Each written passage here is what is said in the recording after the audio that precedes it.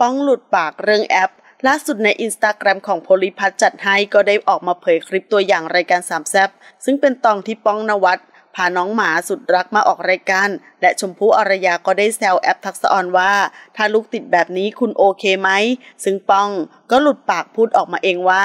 นี่จีบเขามานานแล้ว เขามาหาผมที่กล่องด้วย งานนี้ทำเอาแฟนๆเขามาคอมเมนต์แซวสนั่นเลย ส่วนจะจีบจริงหรือไม่นั้นก็ต้องรอฟังเต็มๆในรายการสามแซบซึ่งหลังจากที่คลิปดังกล่าวถูกเผยแพร่ออกไป ก็ทำเอาชาวเน็ตเข้ามาคอมเมนต์สนั่นเลยว่า เอ็นดูแม่ได้ตลอดเลย คอมเมนต์ถัดมาบอกว่าหาพูดไปเรื่อยนะพ่อ คอมเมนต์ถัดมาบอกว่า อย่าเอาเรื่องจริงมาพูดนะเฮีย คอมเมนต์ถัดมาบอกว่าทำไมเราดูไปยิ้มไป เหมาะสมนะคะ คอมเมนต์ถัดมาบอกว่าเราก็ยิ้มตามไหนเล่าสิคะอยากฟัง คอมเมนต์ถัดมาบอกว่า พี่แอปได้อีกแล้วอะ สวยน่ารักก็ต้องได้ปะ คอมเมนต์ถัดมาบอกว่า ก็ดูเหมาะสมนะ แต่ห่วงแม่ไว้ก่อน อยากให้ได้อยากให้โดนแบบรักแม่คนเดียว คอมเมนต์ถัดมาบอกว่า เหมาะสมค่ะอายุใกล้เคียงกัน แถมเป็นพระเอกนางเอก สวยหล่อทั้งคู่อีกด้วย คอมเมนต์ถัดมาบอกว่า ไหนเล่ามาซิอาการเป็นไง